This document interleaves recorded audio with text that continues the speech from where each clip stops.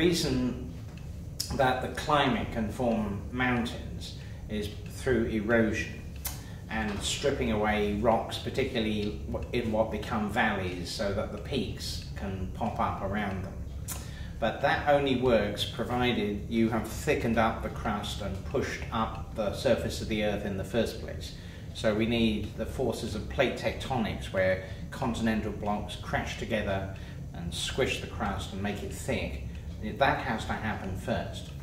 Um, so, for example, I like to joke that if you like live in Amsterdam, it rains quite a lot in, in the Netherlands, but they're not going to have any mountains because there's no crustal thickening. They're already at sea level.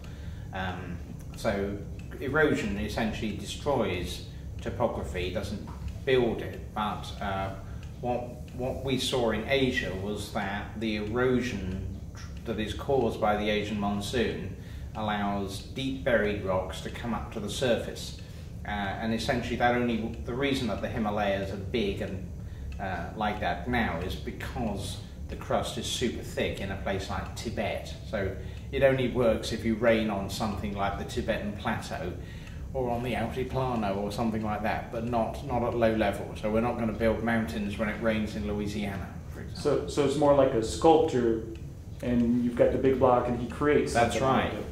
But so the, the comparison is between North and South Tibet. So like in Western China, in the north side of the Tibetan Plateau, it's deserts, it's dry. So there are mountains along the north coast, the north of the Tibetan Plateau, but they're quite small compared to the Himalayas. On the mm-hmm. south side, we have the Himalayas. And the reason that the Himalayas are on the south side, not on the north side, is because of the monsoon rains.